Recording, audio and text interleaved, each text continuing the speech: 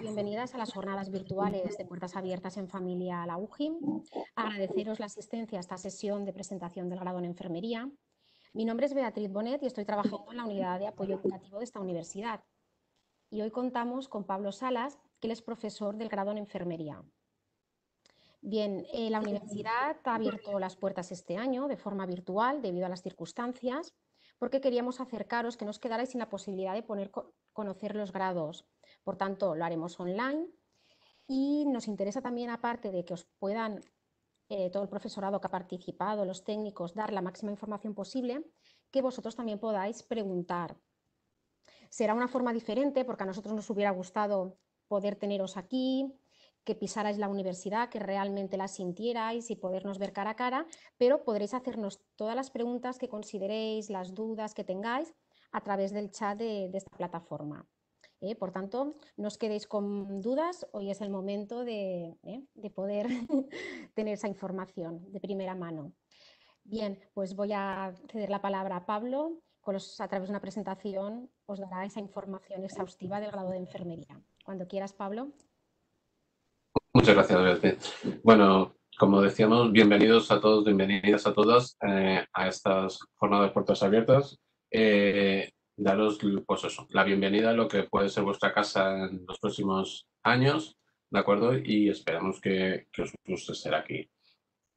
Estamos en un momento, o estáis en un momento que es, es complicado, porque ya no solo es porque estáis acabando un proceso, si vais a empezar otro, otra nueva etapa en vuestra vida, sino que además tenéis que decidir hacia dónde queréis ir, ¿no?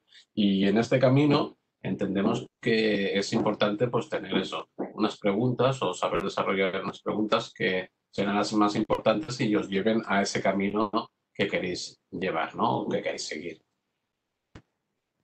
¿Qué nos planteamos para el año que para este día, ¿no? O para el resto de nuestros días. ¿Qué queremos trabajar o qué queremos hacer con nuestra vida? Esto es complicado y a veces eh, dar la respuesta también. Nosotros lo que vamos a intentar explicar en este día, pues, lado de enfermería, lo que hacemos, cómo lo tenemos repartido y qué nos ha llevado a los que somos enfermeros de profesión y que luego, por circunstancias de la vida, hemos acabado siendo docentes, ¿no? A, esto, a por qué elegimos enfermería y por qué nos gusta esta profesión, ¿no?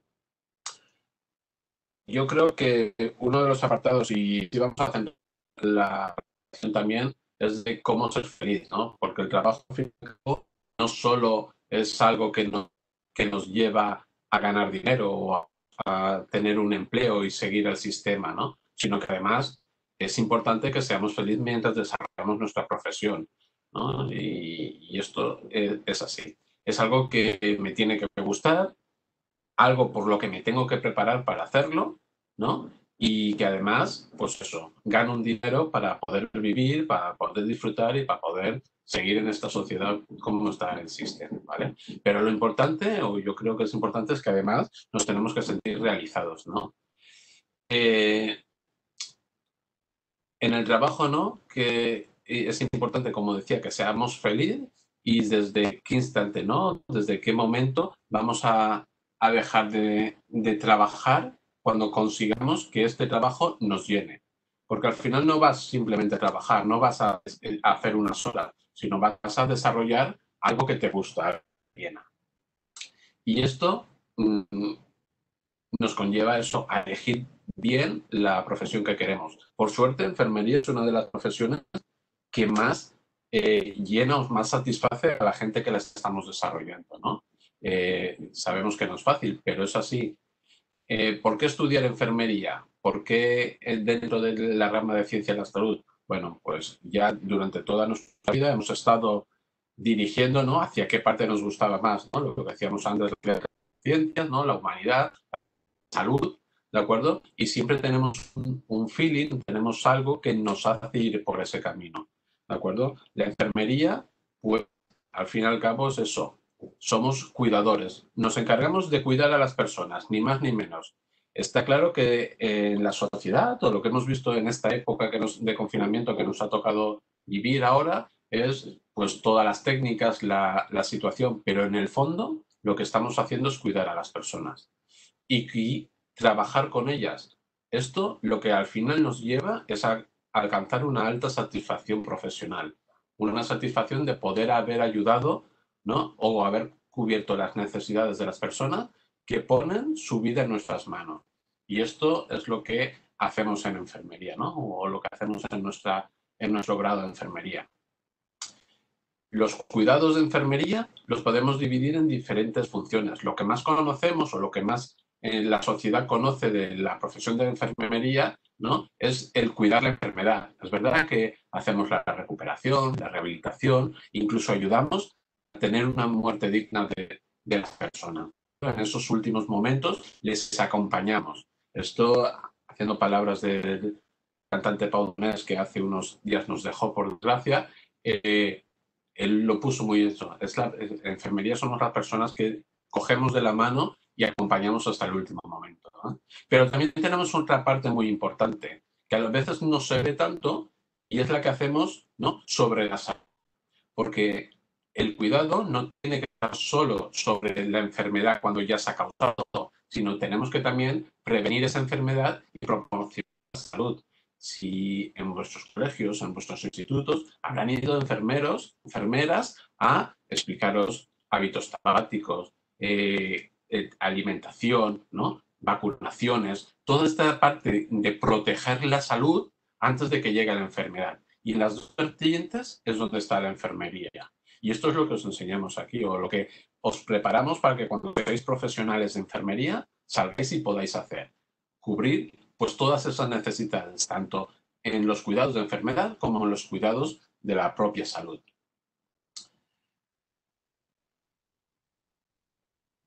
En estos últimos días o en estos últimos meses lo, lo habéis podido demostrar. ¿no? Tanto los médicos como los enfermeros son de los profesionales que más valoraciones o más valorados están en España. En España y yo podría decir que en estos últimos meses en el resto del mundo. ¿Vale? Es verdad que somos profesionales que lo damos todo por las personas, por conseguir ese cuidado, ¿de acuerdo? Y últimamente se ha reconocido pues ese esfuerzo, ¿no? Que a veces está un poco más escondido.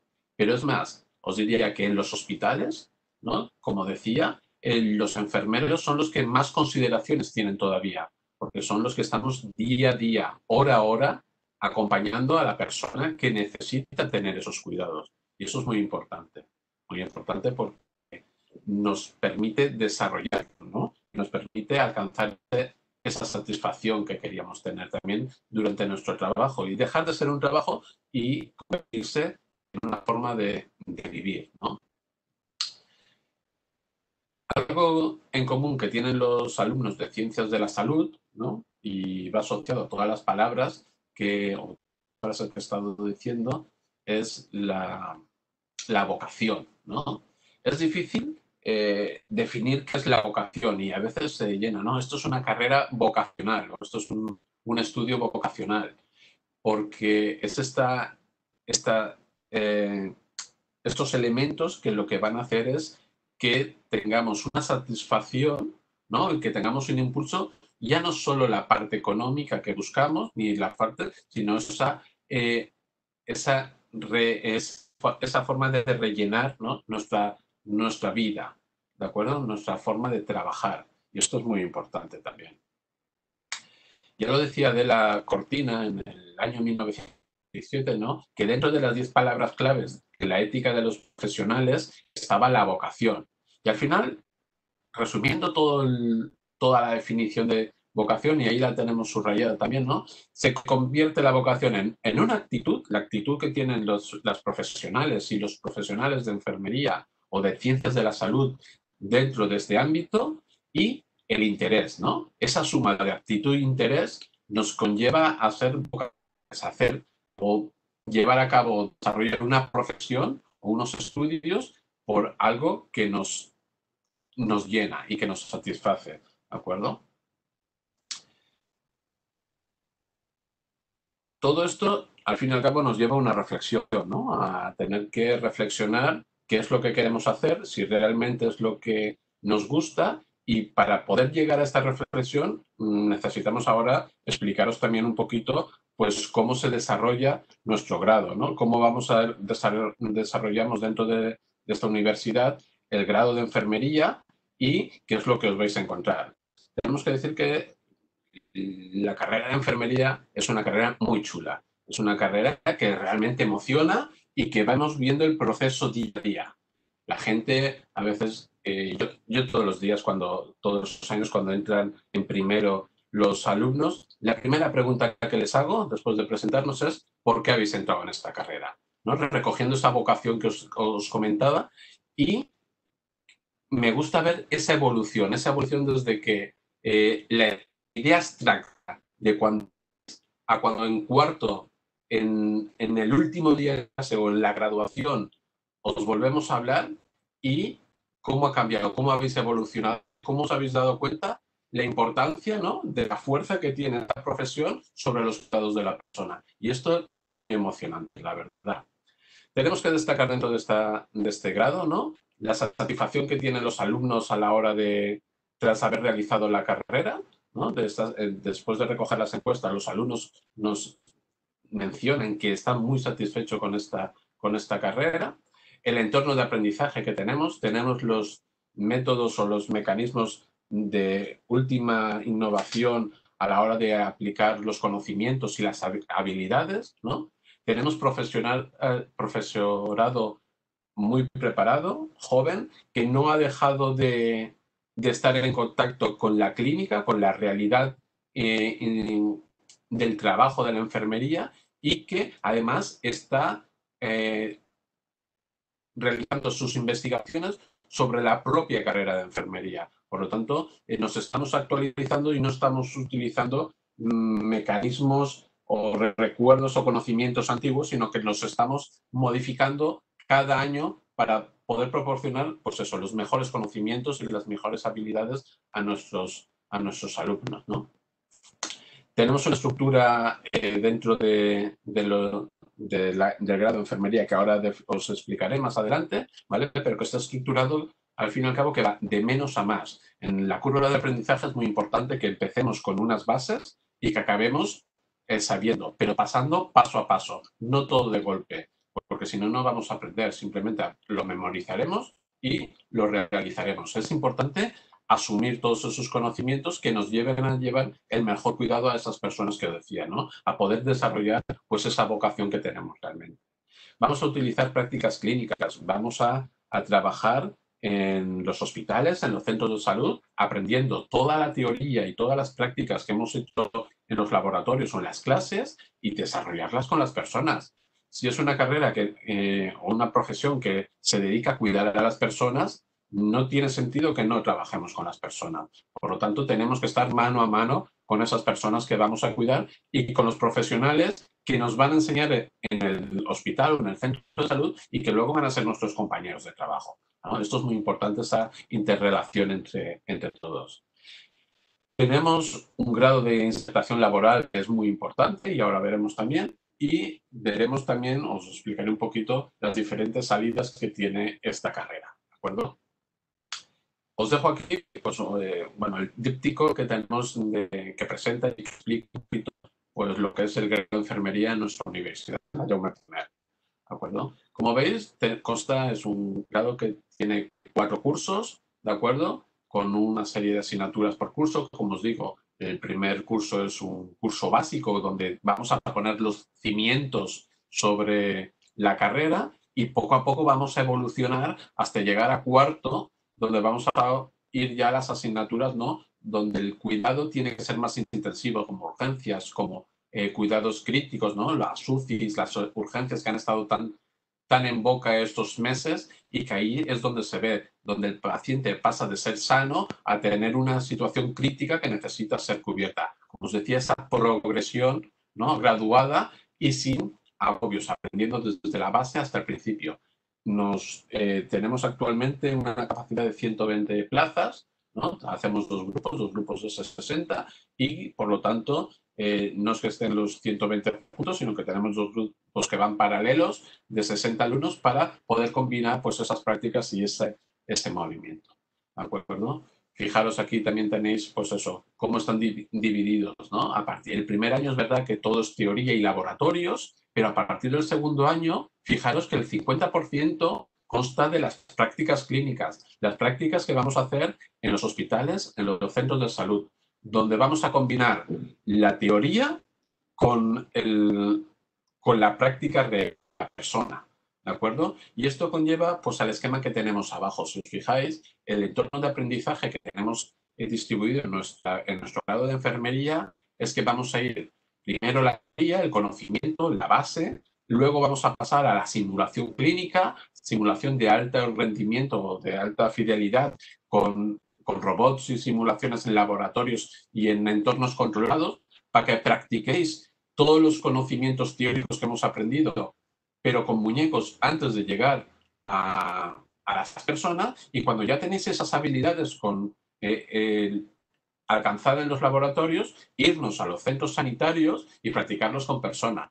Porque es verdad que tenemos que trabajar con personas, pero siempre con seguridad. Ya no solo la seguridad para la persona, sino para la seguridad para vosotros, para los estudiantes, que es importante que os sintáis eh, capacitados a realizarlo y que tengáis esa o que hayáis adquirido esas habilidades. Y por eso lo tenemos así eh, distribuido. ¿Vale? Y finalizamos el grado con un trabajo, como todas las carreras universitarias, con un trabajo de final de grado, donde podemos, eh, es el momento donde podéis demostrar, ¿no? O podéis plasmar, pues, ese proceso de los cuatro años y esas prácticas en un trabajo como eh, con vuestra idea de investigación o de desarrollo, cada trabajo tiene su, su sistema eh, sobre la enfermería, ¿no? Sobre el trabajo que queréis hacer de enfermería. En cuanto a las salidas que decíamos antes profesionales, ¿vale? Eh, tenemos, pues eso, a nivel de inserción profesional, fijaros que tenemos una tasa del 80%. En los últimos, en, los 10, 12 meses después de haber acabado la carrera, el de nuestros alumnos están trabajando, ¿vale? O tienen un trabajo sobre enfermería. Esto es muy importante también, porque es una carrera que tiene mucha salida y que te permite desarrollar pues, esos conocimientos sin tener que irte a buscar otros estudios o otras especialidades. Simplemente con el grado de enfermería, el 80% en el primer año está trabajando ya. ¿Qué otra, ¿Qué otro ciclo podemos hacer cuando salimos de aquí? Fijaros que nosotros ah, en nuestro grado de enfermería, hace unos años, pues cuando era, cuando era una diplomatura en lugar de un grado, estaba dentro del marcado del primer ciclo, que son los grados, ¿de acuerdo? Pero ya no, podías, ya no podíamos evolucionar. Con la nueva reforma de los grados, fijaros que la profesión o el grado de enfermería permite seguir con todos los niveles académicos que hay. ¿De acuerdo? Podemos pasar al segundo ciclo, obtener un máster, un posgrado, una especialidad como matrona, ¿no? como eh, médico-quirúrgica, como salud mental, pues las siete especialidades que hay en el entorno de la enfermería, ¿no? o seguir haciendo formación continuada. Y poder incluso llegar a tener el doctorado, ¿no? A través del máster o de las especialidades, llegar al máximo nivel académico que existe en España, que es el, es el doctorado. ¿de acuerdo? Y esta carrera, por lo tanto, nos deja tanto desarrollarnos a nivel profesional como a nivel académico. Y esto es muy, muy importante, no solo por la persona, sino por la propia profesión. Es decir, que es una profesión que va a estar actualizada y que va a estar trabajando sobre lo que ellos quieren. En cuanto a las salidas profesionales, que a veces es lo que más os gusta, ¿no? Tenemos una la parte asistencial, ¿no? Ir al hospital, ir al centro de salud, ir a trabajar en las ambulancias, pues en todo lo que es asistir, cuidar a las personas. Es una carrera que también nos permite desarrollar a nivel profesional sobre la docencia. Nos permite desarrollar también la parte de investigación, como hemos estado comentando. ¿no? Es verdad que el grado no implica que eh, tengamos que investigar, pero sí que es muy importante conocer qué investigaciones estamos utilizando y tener esa capacidad de seguir con las investigaciones para trabajar sobre lo que queremos hacer. También podemos o tenemos salida profesional a nivel de gestión. ¿no? Las direcciones de los hospitales están dirigidas por una parte por enfermeras o enfermeros que son los que van a dirigir pues, toda la organización. ¿no? Y luego también tenemos especialidades, como os decía, las matronas de, salud mental, hay siete especialidades médico-quirúrgica que tiene UCI, especialidades de UCI, ¿no? de, de emergencias pues todas esas especialidades que son salidas, opciones, una vez hemos acabado la carrera. Y pues llegamos al punto de, pensar ¿no? qué queremos hacer o qué necesitamos para alcanzar esto. Y la pregunta siempre es qué no te necesito para poder acceder a, este, a este grado de enfermería. Eh, fijaros que os he puesto la, que, eh, la nota de corte del año pasado porque actualmente aún no teníamos la de este año y se puede acceder a partir de un 726. Es una nota muy alta, es verdad, es de las notas de acceso o las notas de corte de acceso a la universidad más altas que hay por gran demanda y por la gran importancia que tiene. Entonces, esto también es importante saberlo a la hora de querer acceder a, esta, a este grado de enfermería. Con esto, eh, os daros las gracias por haber escuchado, haber estado en la, en la sesión. Espero haberos animado a que os, os queráis unir a nuestra familia, ¿no? a, esta, a esta facultad, a esta, a esta universidad y quedo a vuestra disposición para si tenéis alguna pregunta que podamos contestaros y resolveros lo que queráis. Muchas gracias, Pablo, por tu exposición. Ahora, chicos, chicas, padres, madres, el turno os toca escribir aquellas preguntas, aquellas dudas a través del chat. Mientras se va animando, porque seguro que alguien, ¿verdad? Escribe esa primera pregunta. Recordaros que aún eh, durante el día de hoy aún realizamos sesiones informativas de los grados y a última hora, a la una, estará la sesión de información sobre acceso a la universidad, muy interesante para resolver todas las dudas sobre prescripción, matrícula, letras de espera, becas. Muy bien, mira, ya van llegando las primeras preguntas. Nos comenta Lucía cuánto dura la especialidad después del grado. Vale, la especialidad, eh, las especialidades son de dos años. Son especialidades que son formativas y laborales. Esto quiere decir que hay una prueba de acceso como el MIR que se conoce para medicina, está el EIR que es el acceso, ¿no? la prueba de acceso a estas especialidades. Eliges la especialidad y son dos años de formación. Dos años que además te están pagando. Tienes contrato y es un contrato de formación. ¿De acuerdo? Finalizados estos dos años obtienes la especialidad de la disciplina que hayas elegido. Muy bien. Nos comenta Jorge eh, que si se va a quedar grabada la sesión. Sí, la sesión las estamos grabando y luego os enviaremos un enlace a vuestro correo electrónico para poder acceder a la sesión y a más información sobre la universidad y los diferentes grados. Por tanto, no te preocupes si podréis verla otra vez.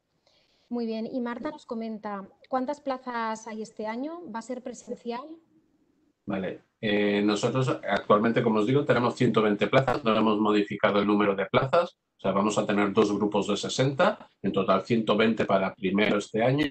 Y las clases presenciales, pues estamos preparados a todo. Quiero decir, tenemos un horario que nos va a permitir tanto hacerlas una parte virtual como una parte presencial, los laboratorios tenemos que estar allí, se van a, ya están distribuidos, se están preparando en grupos muy reducidos para que no haya problemas de contagios ni nada. Y la parte teórica eh, o la parte de la clase física, ¿no? más teórica, lo que vamos a trabajar es, eh, la estamos preparando en un horario que nos va a permitir tanto, si fuese necesario hacerla virtual, que son las líneas por las que más o menos dirigiendo ahora, ¿no? Eh, permiten también hacerlas físicamente. Tenemos espacios reservados, tenemos todo. O sea que en función de cómo se vaya desarrollando todo, pues eh, veremos cómo nos, nos acoplamos. No hay problema por eso. Eso lo tenemos realmente todo diseñado ya. Muy bien. ¿Alguna cuestión más? ¿Alguna...? Ha quedado muy claro, ¿verdad? Y muchos de los que estáis aquí lo tenéis claro ya, si queréis enfermería, esa vocación. Sí, dejamos unos instantes, porque a veces cuesta un poquito también de verdad escribir la pregunta.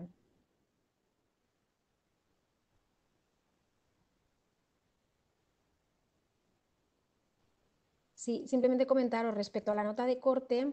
A ver, es importante que estudiéis muchísimo, porque es lo que ha comentado Pablo. Siempre tiene mucha demanda y por tanto se queda muy alta. Pero también es verdad que luego baja ligeramente de esa nota inicial que vemos ahí en pantalla del 10 y pico por el tema de listas de espera. ¿vale? Entonces el año pasado en enfermería entró gente con un 9,572 Eso el año pasado. ¿Qué pasará este año? No lo sabemos, pero rondará por ahí. Por tanto, sí que estudia muchísimo y siempre intentad ir por la máxima nota posible. ¿eh? ¿No? ¿No tenéis ninguna cuestión más? Sí, muy bien. Eh, nos comenta Jorge, eh, ¿qué especialidades hay dentro de esta carrera? Pues eh, actualmente hay siete especialidades. Realmente desarrolladas se desarrollan tres, ¿de acuerdo? quiero decir, para trabajar te piden tener tres especialidades en concreto. Tenemos la especialidad de matrona, que sí que está desarrollada, la especialidad de salud mental, que sí que está desarrollada, la especialidad de familia, ¿no?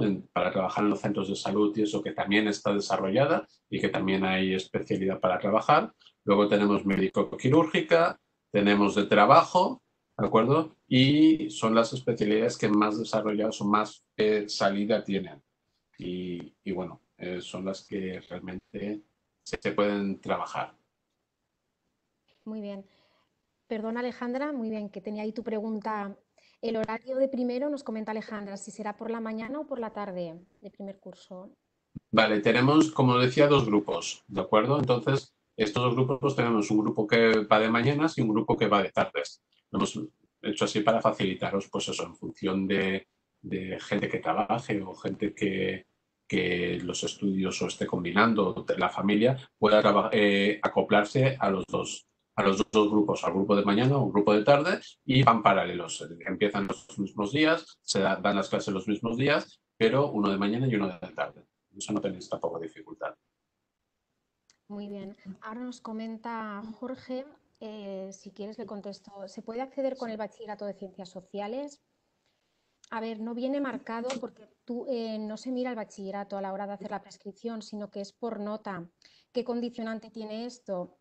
Que tú con el, con el bachillerato de ciencias sociales, tu máxima nota que vas a poder acceder va a ser un 10, porque no tienes las asignaturas que ponderan para enfermería. Y normalmente la, nota gira alrededor, pero si tú tienes esa nota, tienes muy buena nota, no te van a mirar el bachillerato. Y, si se entra a la carrera, imagínate que la nota de corte se quedara un 9,50 y algo que he comentado antes, y tú tuvieras un 9,6 con tu bachillerato de ciencias sociales, evidentemente entrarías. Otra parte es ahora lo que comentará Pablo de los conocimientos, que no habrás cursado asignaturas como biología, otras asignaturas. ¿eh, Pablo, si quieres complementar. Sí, a ver, yo en esto soy muy... Si te gusta, todos los conocimientos previos es verdad que no los tienes, pero los puedes Quiero decir, lo digo por experiencia propia porque mi bachillerato fue, en mi época era letras, ¿no? Y yo estudiaba literatura griego y eso, y acabé en, eh, cuando en el momento de elegir me di cuenta que esto era la carrera que me gustaba y me pasé a eso. Entonces iba de un lado también, pero se suple, se suple todo y, y, simplemente hay que poner un poco más de esfuerzo para complementar esas esos conocimientos previos que no tenemos, ¿no? Pero es asequible, no, hay problema por eso. Sí, lo que también puedes hacer, Jorge, es que si estás, no sé si ya estás en el bachillerato de ciencias sociales, eh, depende del centro, también permiten, aunque estés en ese bachillerato, elegir alguna asignatura, como por ejemplo biología, que sí que ponderaría, y así tú puedes examinarte de las de tu bachillerato y en esta fase voluntaria también te examinas de biología y ya tendrías, jugarías con dos puntos más. ¿Vale? Ahí hay varias opciones para poder sacar más nota. Muy bien. nos comenta Marta si el horario se puede elegir en principio. Eh, cuando te matriculas, en función de en qué orden de matrícula estés, puedes elegir un grupo o el otro. Lo eliges, lo eliges tú. El horario está establecido para cada grupo porque hay que saber, hay que reservar las aulas y los profesores, no se puede elegir el horario, pero dentro del grupo sí que puedes elegir si quieres mañana o si quieres ir de tarde. Aloma nos comenta respecto al plan de estudios y las asignaturas, ¿hay mucha diferencia entre universidades? Eh, a ver, lo que es la carrera, lo que define la carrera es definida por la orden ministerial, o sea que toda España tiene que tener los mismos conocimientos. Es verdad que cada universidad distribuye o, pone esos conocimientos, esas competencias que indica la orden ministerial y la distribuye en como quieren ellos, ¿no? Como planean su, plan de estudios. Por ejemplo, hay asignaturas o conocimientos que a lo mejor nosotros lo estamos enseñando de forma transversal, ¿no? Primero, segundo, tercero, como es la parte de investigación, y hay otras universidades que lo dan en asignatura única en primero o en cuarto, pero el conocimiento es el mismo. Entonces depende también cada universidad eh, cómo se ajuste o cómo haya distribuido su grado de enfermería. Vale, Marta nos comenta si se convalida bioquímica y microbiología del módulo superior, del ciclo formativo de grado superior. En, la página web tenéis un enlace y si no luego lo comentáis si os, eh, mm, apuntáis a la charla de, información. Hay un enlace donde aparece eh, la relación de grados universitarios de la UGI y qué asignaturas de los ciclos formativos se convalidan. ¿vale? Yo no sé si Pablo es muy difícil saberlo de memoria. Yo y de memoria no me acuerdo porque sí, nosotros cuando solicitéis las convalidaciones cogemos el listado y en cada situación lo que, lo que corresponde según la normativa. Sí, no la página web y si no lo encuentras, eh, envías un correo, voy a enviaros a todos a través del chat el correo electrónico donde podéis consultarlo y os enviarán el enlace exacto para, en info.ugi.es ¿vale? Os, informarán del tema en concreto. ¿Sí? ¿Lo tenéis todo súper claro? Ah, muy bien. ¿Se puede acceder eh, de un grado superior a enfermería?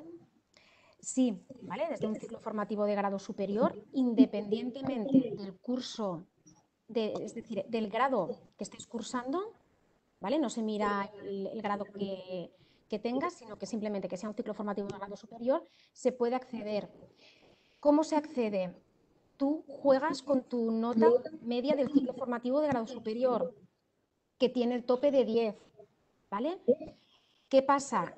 Que el consejo es, como en enfermería hemos comentado, que la nota siempre gira alrededor de 10 o 10 y pico incluso, tendrías que prepararte en la prueba de acceso a la universidad, en la PAU, alguna de las asignaturas en esa fase voluntaria, alguna de las asignaturas que ponderan, ¿vale? Los cuadros de ponderaciones también los tenéis en la web y es ver de las asignaturas que ponderan a, a, cuáles te quieres presentar. Te puedes presentar hasta un máximo de cuatro, pero solo te van a contar dos.